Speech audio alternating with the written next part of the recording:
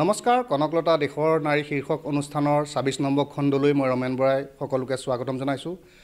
নাৰী সবলীকৰণ নাৰীৰ প্ৰতিভা তথা নাৰীৰ ব্যক্তিত্বৰ বিষয়ে ৰাইজৰ আগত পৰিচয় কৰি দিয়াৰ প্ৰয়াসেৰে আমি আৰম্ভ কৰিছিলোঁ এই কনকলতা দেশৰ নাৰী শীৰ্ষক অনুষ্ঠানটো। আৰু আজি এই খণ্ডটোত আমাৰ মাজত উপস্থিত আছে ধেমাজিৰ এগৰাকী চিত্ৰশিল্পী যি নেকি বৰ্তমান স্বামীৰ কৰ্মসূত্ৰে মিজোৰামত থাকে। তেখেত হ'ল ৰিংকু দাস ডাঙৰীয়ানী।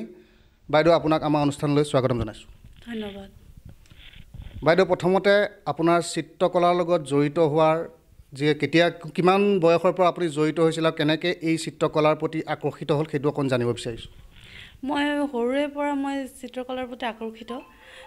বিশেষকৈ আমাৰ ঘৰত যিটো মোৰ আইতা মোৰ আইতা বুলি কি কয় নাজানো আৰু আমাৰ মানে বঙালী লেংগুৱেজ দিদা বুলি কয় মোৰ তেখেতে মানে ঘৰত যে লিপে তাতো যে ডিজাইন কৰি পিনে হাতেৰে আঙুলিৰে আঁকি আঁকি তাত মানে এটা ধুনীয়া এটা ৰূপ দিয়ে আৰু।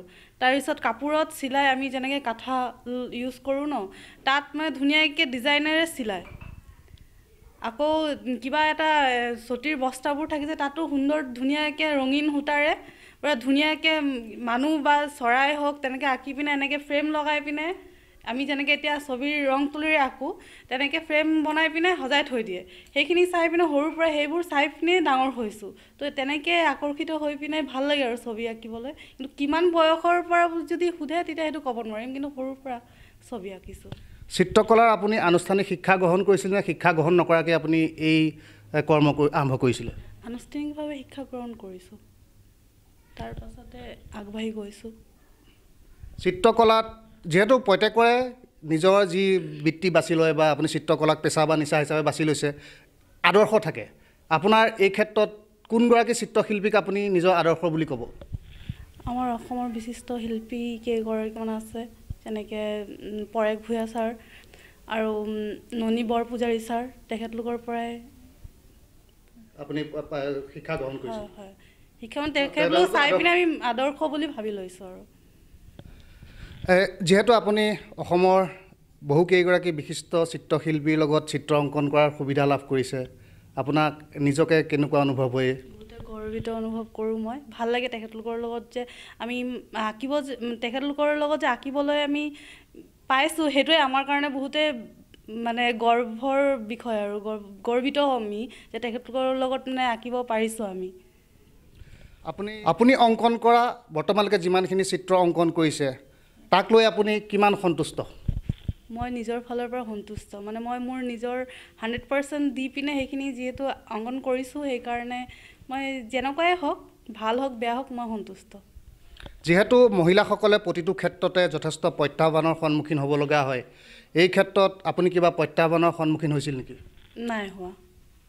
আৰু যিহেতু আপুনি এগৰাকী বিবাহিত মহিলা প্ৰথম আপোনাৰ চিত্ৰ শিল্পৰ প্ৰতি আকৰ্ষিত হওঁতে আপোনাৰ পিতৃ মাতৃ আৰু বৰ্তমান আপোনাৰ স্বামীৰ তেওঁলোকৰ আপোনাৰ প্ৰতি সহযোগিতা কেনেকুৱা?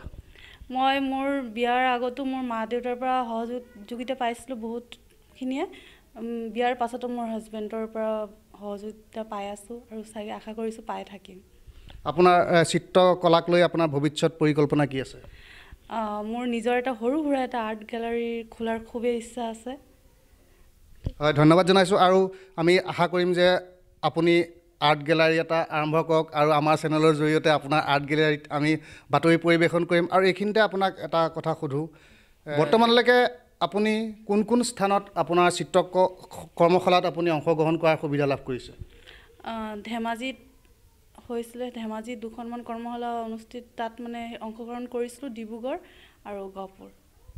গহপুৰ যিহেতু শ্বহীদ নগৰী আপুনি গহপুৰত যোৱা আঠাইছ মাৰ্চত আপুনি নৰ্থ আছাম নাৱৰ বৰ্ষপূৰ্তি আৰু বাটৰ কেনভাছৰ একৈছ সংখ্যক প্ৰতিষ্ঠা দিৱসত আপুনি চিত্ৰ অংকন কৰিছিলে। শ্বহীদ নগৰীত শ্বহীদ যুগলৰ প্ৰতিমূৰ্তি স্থলীত চিত্ৰ অংকন কৰি এগৰাকী নাৰী হিচাপে যিহেতু কনকলতা এগৰাকী নাৰী দেশৰ স্বাধীনতা আন্দোলন তেখেতে প্ৰাণ বিসৰ্জন দিছিলে দেশ স্বাধীনৰ কাৰণে। গতিকে আপোনাৰ অনুভৱ কেনেধৰণৰ? মোৰ বহুতে ভাল অনুভৱ হৈছিলে।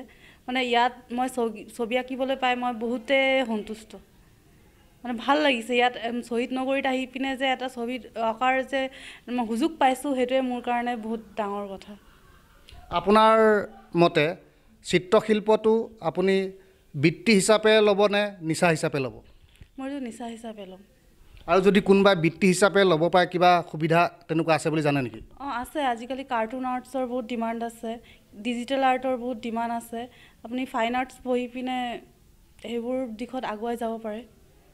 শেষত আমাৰ অনুষ্ঠানটো যিহেতু কনকলতা দেশৰ নাৰী আমি আপোনাক কনকলতা দেশৰ নাৰী বুলি হিচাপে আমি এই সাক্ষাৎকাৰটো গ্ৰহণ কৰিছোঁ। কি ক'ব আমাৰ অনুষ্ঠানটোৰ বিষয়ে? এই অনুষ্ঠানটো যাতে আগুৱাই যাওক বহুত আগলৈকে আগুৱাই যাওক আৰু যাতে মানে চিৰস্থায়ী হৈ যাওক সেইটোৱে আশা কৰিছোঁ। হয় ধন্যবাদ। আপুনি আমাক এইকণ সময় দিয়াৰ বাবে আপোনাক ধন্যবাদ জ্ঞাপন কৰিছোঁ।